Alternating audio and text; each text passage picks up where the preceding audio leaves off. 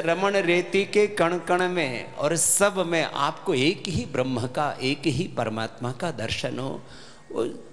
जैसे जैसे हमने भगवान के स्वरूप को गुरु कृपा से अपने अनुभव से अनुभव किया है, ये सारे स्वरूप उसी के हैं। और एक छोटे से कण से लेकर के सारा ब्रह्मांड। यस्य भूमि प्रमांतरिक्ष मुतोदरम दिवम यक्रे मूर्धानम तस्मै ज्येष्ठाय ब्रह्मणे नमः। वेद में स्वयं भगवान ने अपना स्वरूप बताया कि द्युलोक मेरा सिर है, ये अंतरिक्ष लोक मेरा धड़ है, ये पृथ्वीलोक, ये मेरे चरण हैं। हम सदा ही भगवान की चरण शरण में ही रहते हैं। बस अनुभव हम करें। अंति संतम न जहाति अंति संतम न पश्यति, पश्य देवस्य काव्यम न ममार न जेरियति। वो दृष्टि हमें गुरु कृपा से मिले भगवत कृपा से मिले, साधना से मिले कि हम उस भगवत तत्व को अनुभव कर सके। स्वाध्याय। सदा भगवान का नाम स्मरण और अपने स्वरूप में जीना और अपने स्वरूप में रह करके जो स्वधर्म है उसका पालन करना। ब्रह्मण आधाय कर्माणि संगम त्यक्वा करोति यह लिप्यते न सपापे न पद्म पत्र में वाम भसा। ऐसा हमारा जीवन बने। स्वाध्याय तप आर्जवम तप क्या है? पथ का विधान है। ये जीवन का पथ ऐसा है, इसमें कांटे हैं, मुसीबतें हैं, मुश्किलें हैं, बाधाएँ हैं, प्रतिकूलताएँ हैं, संघर्ष हैं, चुनौतियाँ हैं, प्रश्न हैं। वो भगवान रामकृष्ण के भी जीवन में आए, वो गौतम कणाद पाणिनि पतंजलि के भी जीवन में आए, वो सबके जीवन में है, वो हमारे भी जीवन में, आपके भी जीवन में, लेकिन इन पथ बाधाओं से रुकना नहीं है। इसको कहते हैं तप। आपको भी ये घर और परिवार संसार चलाना इतना आसान नहीं है। संतानें पैदा करना भी इतना आसान नहीं उनको शिक्षा दीक्षा संस्कार देना आसान नहीं है। इसलिए जो सद गृहस्थ है वो भी परम तपस्वी हैं। आप अपने आप को ऐसा मत मानना बोले बाबा जी हम तो गृहस्थी हैं। मैंने कहा क्यों किसका क्या मतलब? बोले गिरी हुई हस्ती है। ऐसा नहीं है भाई। अपने आप को गिराओ मत। हाँ, हम हमेशा अपने आप को कोसते रहते हैं हम, हम।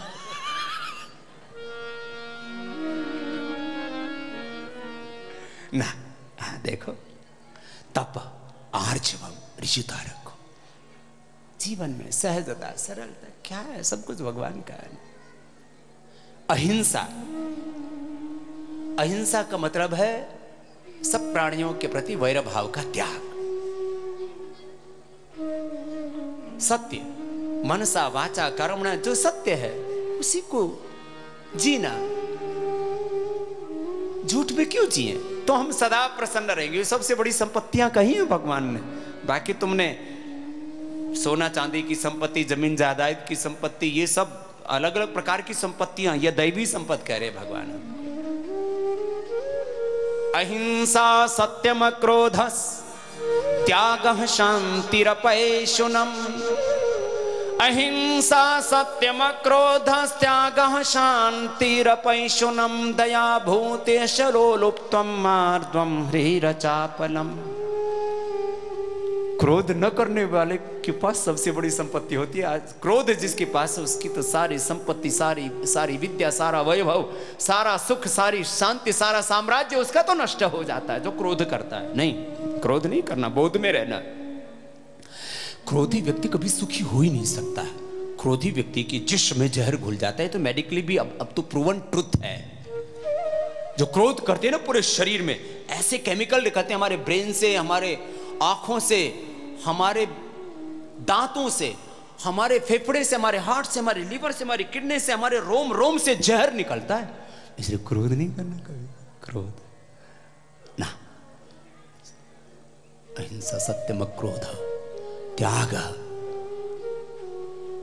त्याग करना सेक्रीफाइस आप सब सेक्रीफाइस करने वाले लोग हैं। माता पिता कितने सेक्रीफाइस करते हैं?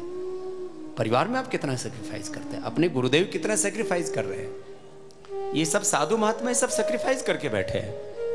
सेक्रीफाइस इज़ लाइफ त्यागी जीवन त्याग, शांति शांति में जीना।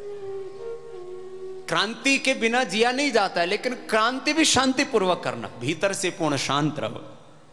भीतर से शांति, बाहर से क्रांति। देखो, तुम सोचो कि मैं भीतर से शांत हो गया तो सभी शांत हो जाएँगे। हिंदुस्तान यूँ सोचे कि मैं शांति का उपासक हूँ तो इमरान खान भी शांत हो जाएगा, उसका तो वही इलाज है, थोड़े दिन पहले किया और और करना पड़ेगा, अभी अंतिम नहीं हुआ उपाय। ये तो चलेगा क्रम। युद्धस्व विगत ज्वर इसका यह अर्थ है। युद्ध तो करना पड़ेगा, भीतर से ज्वर नहीं होना चाहिए। अशांत नहीं होना। भीतर से पूर्ण शांति, बाहर से क्रांति चलती रहेगी। ये तो स्वभाव है जीवन का। त्याग, शांति रपैशुनम किसी की निंदा नहीं करना। आजकल निंदा करने में लोग बड़ा इंटरेस्ट लेते हैं। सुबह से शाम तक चुगली चाटे में लगे रहते हैं। पहले दोष लगाते थे कि महिलाएँ बहुत चुगली करती। मैंने तो आजकल देखा पुरुष महा चुगलखोर हो गए। त्याग, शांति रपैशुनम दया भूतेषु अलोलुप्तम सबके प्रति दया करो। देखो तो हम हम किसी से भी घृणा नहीं करते। हाँ सच्ची बात एकदम पक्की बात हमारी घृणा है दुर्विचार से, दुर्भावना से और दुष्कर्म से।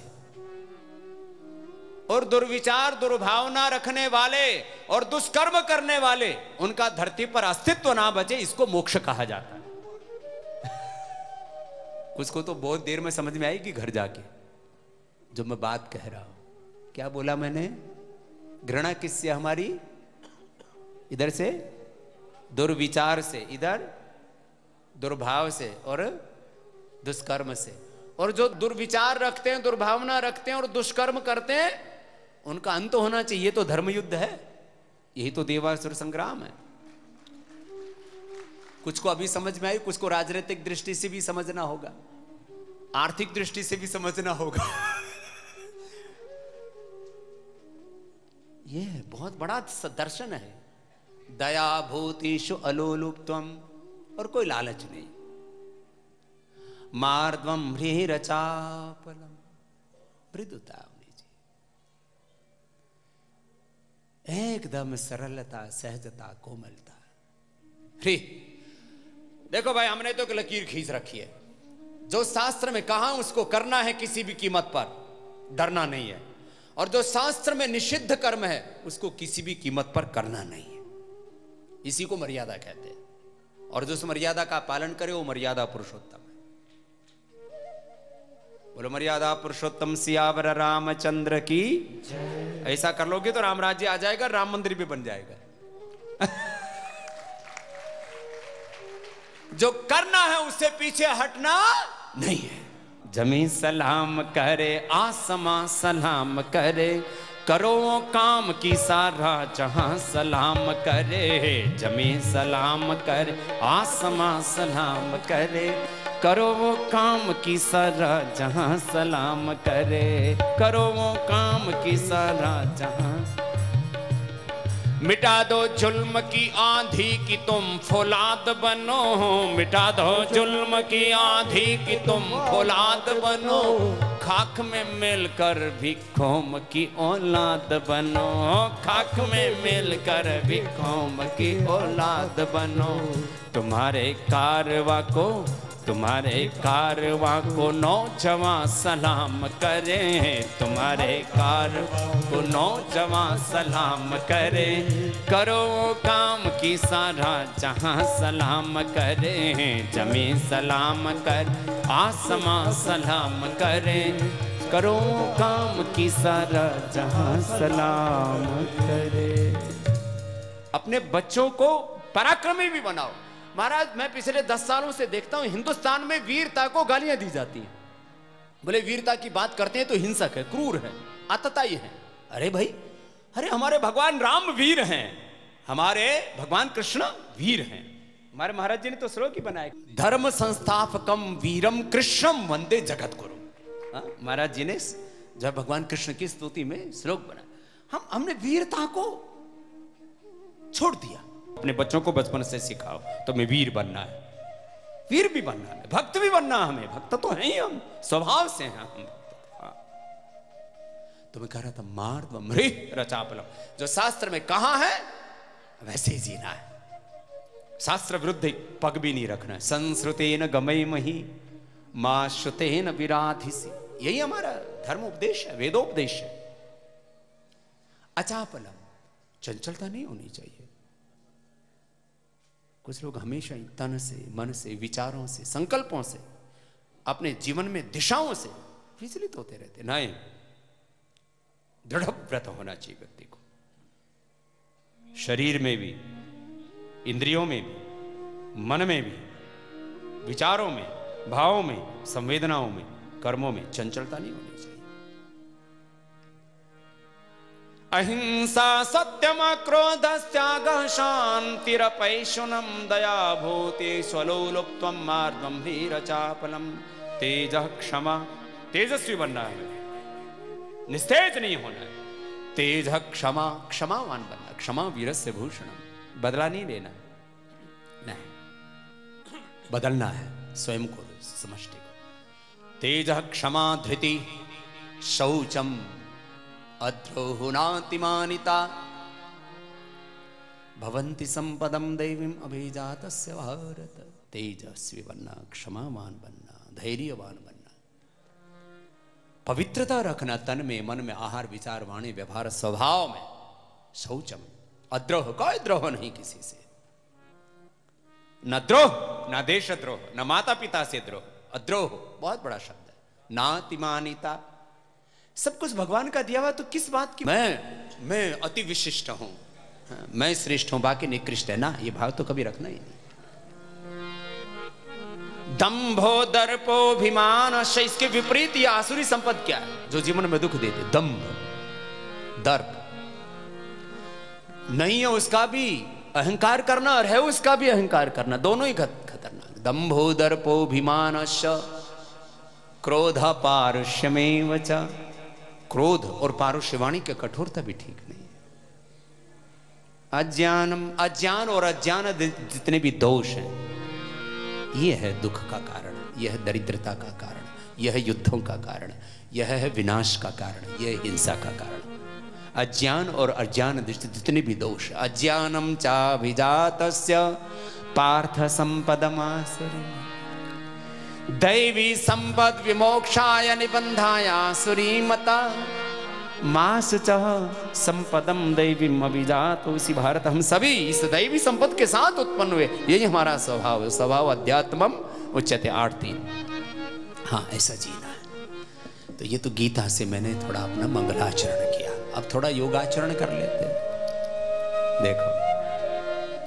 हाँ योगाचरण के बिना तो बात बनेगी नहीं। महाराज, भगवान राम, भगवान कृष्ण, सारे ऋषि मुनि, सारे संत महात्मा सब योगी थे। और वो ज्ञान योगी थे, कर्म योगी थे, हठ योगी थे, अष्टांग योगी थे, जो भी योग के आगे बोल दो। योग के साथ सब कुछ हमारे सहयोगी थे, उपयोगी थे। परस्परम भाव यंत श्रेय परम अभाव से था सहनाओ तो सहनो सब मिलकर के आगे बढ़े, औरों को बढ़ाया। ऐसे हम सब योगी बने। क्या बने बोलो? हम जब घर छोड़ा था तब हम बहुत गाते थे इसको। अभी भी गाते हैं। हो सकता है आपका भी किसी का छूट जाए। और अंदर से तो छूटना ही चाहिए। हाँ। अंदर से छोड़ के फिर घर में रहा करो। कर दो दूर प्रभु, मेरे मन में अंधेरा है।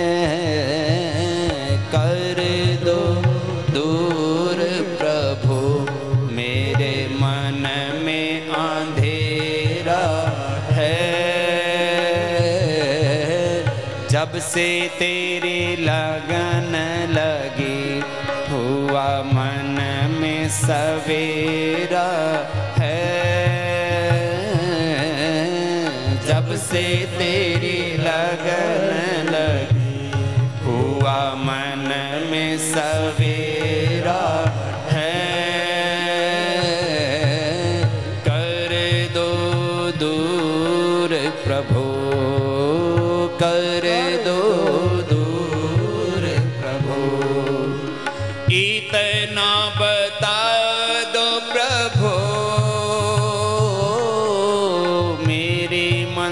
मंजिल है कहाँ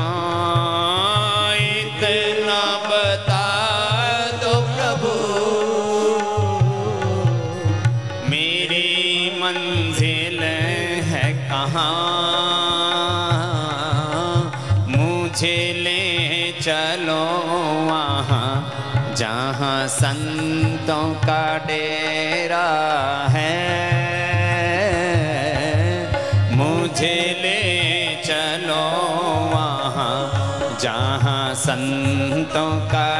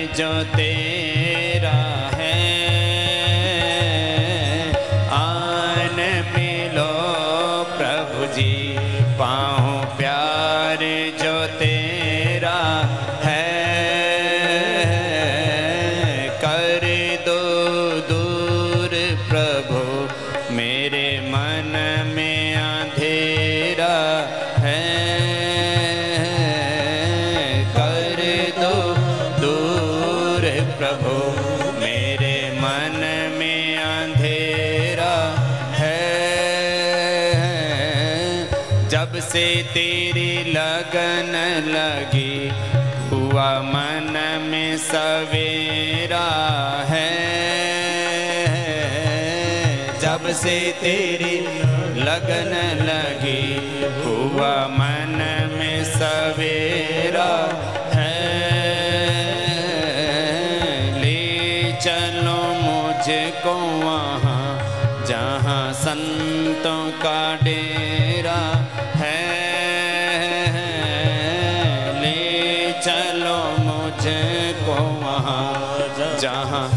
संतों का डेरा है। बोलिए सच्चिदानंद भगवान की जय। सदगुरुदेव भगवान की जय। जब हम गुरु शरण में आते हैं तो अपने हृदय में इतनी ग्राह्यता होनी चाहिए कि गुरु के एक एक क्षण के आश्रय से हमारे भीतर एक गहरा रूपांतरण हो। तो मैं कह रहा था, योगाचरण में हमें कुछ ना कुछ जीवन में व्यवहारिक योग करने का व्रत लेना है। मैं हर बार आता हूँ और आप सबको बताता हूँ कि देखो, ये देह देवालय है, ये शिवालय है, ये भगवान का मंदिर है। ये भगवान की बहुत बड़ी सौगात है। देह की पुष्टि हमारा अंतिम धर्म नहीं है। लेकिन देह के बिना धर्म नहीं। धर्म अर्थ काम मोक्षाणम आरोग्य मूलम उत्तम। धर्म का संपादन भी इस देह से होगा। और जो अर्थ जिससे जीवन में परमार्थ से लेकर के सारे हमारी सेवा और साधना संपन्न होती है, वो भी शरीर से ही होगा। सारे पवित्र संकल्प भी इसी से पूरे होंगे और मोक्ष की प्राप्ति भी सदेह से होगी। महाराज, मैंने जब योग सिखाना शुरू किया तो सबसे पहले मुझे गालियों का उपहार मिला कि सब साधु तो देह से परे जाने की बात करते तू दंड बैठक लगाता है, सूर्य नमस्कार कराता देह को पुष्ट करता है। मैं देखो, शरीर से बलवान बनो। देखो, सीधे बैठो। अब योग तो करना पड़ेगा।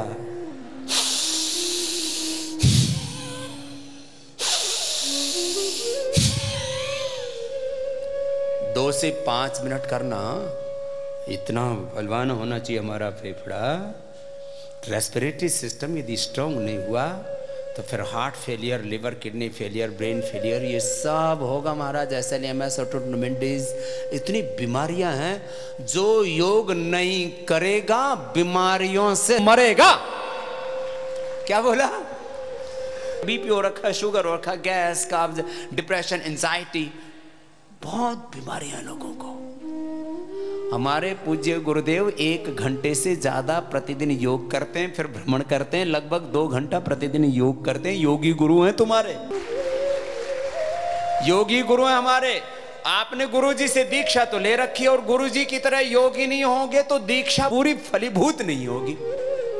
ये मैं बता देता हूँ। इसलिए गुरु जी ने जो दीक्षा दी है। दीक्षा कहते ही आचरण को हमारे हाँ। तो ये दीक्षा मैं दे दे रहा हूँ थोड़ी सी आपको। महाराज जी, मैं दिसंबर और जनवरी महीने में पाँच मिनट ये करता हूँ, भस्त्री का, और मुझे पूरा पसीना आने लगता है। अभी तो दो ही मिनट में आ जाएगा। क्योंकि अभी तो इतनी गर्मी है ना थोड़ी तो ऐसे मैं दो मिनट ऐसे पूरा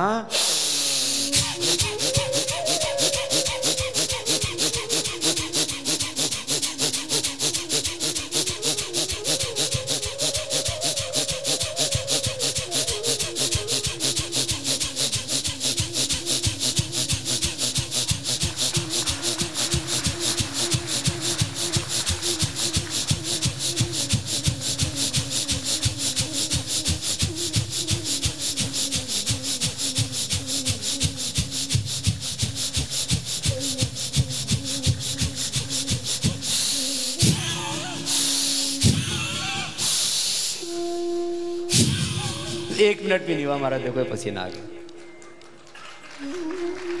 हाँ? ये तो एक मिनट भी नहीं हुआ, पाँच मिनट ऐसे करते तो दिसंबर में भी पूरा पसीना सोने लगता है। घर में स्नान हो जाता है। और जो एक बार, देखो, हिमालय में बैठा हुआ व्यक्ति भी ऐसे फेफड़े ऐसे मज़बूत होने चाहिए। शेर और हाथ की तरह तुम्हारे हाँ? मज़बूत होने चाहिए।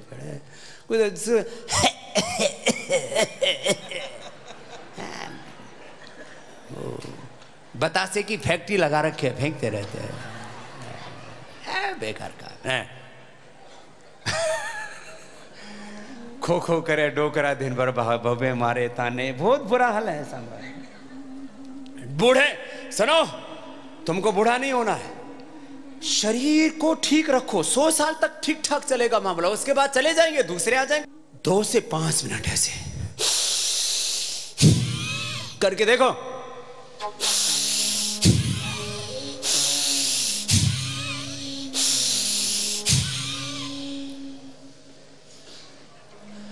महाराज, मैं एक मिनट में 200 बार भी करता हूँ। जो मैं तेज स्पीड से कर रहा था ना, एक मिनट में 200 बार वाली स्पीड है ये।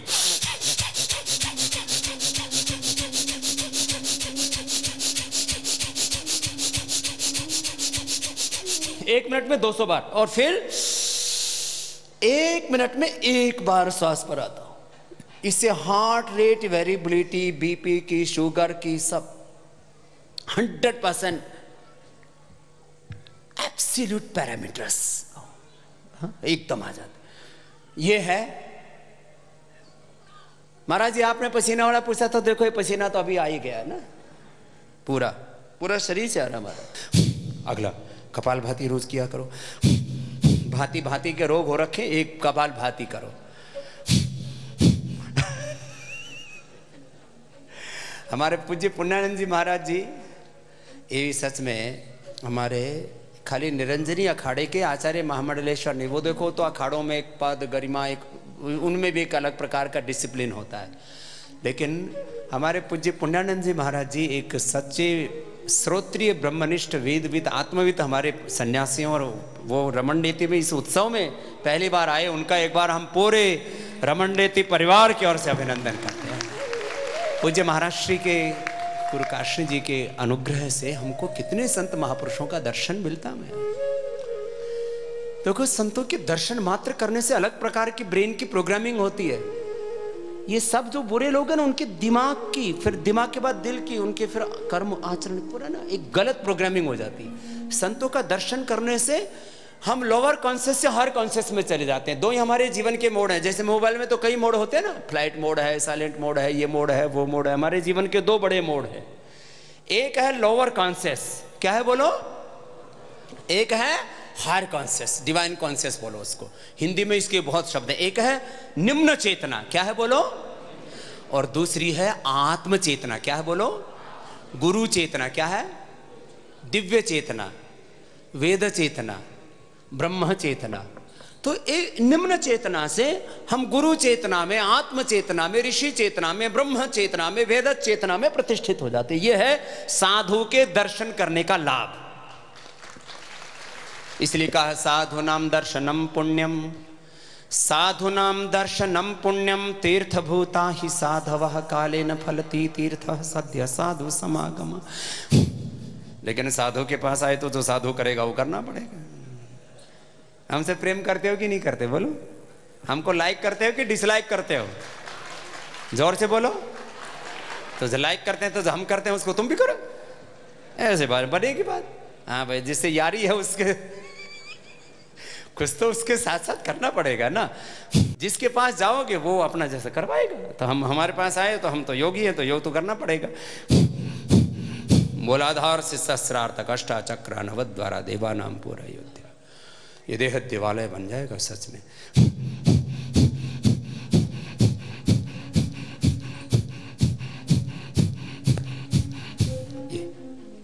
रोज दस पंद्रह मिनट किया करो।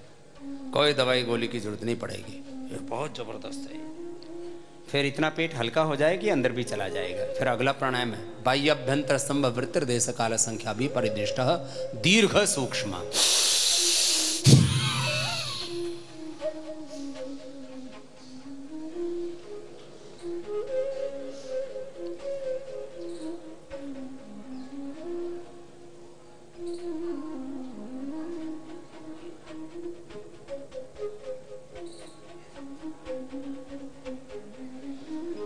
होगा ना? अभी नहीं होगा। पहले हल्का कर लो, फिर होगा। फिर वो जो हम घुमाते हैं ना, वो तो अगली, उसको तो प्राणायाम नहीं कहते, वो क्रिया है एक। उसको बोलते हैं नोली क्रिया। क्या बोलते हैं? वो भी घूमेगी ऐसे, देखो।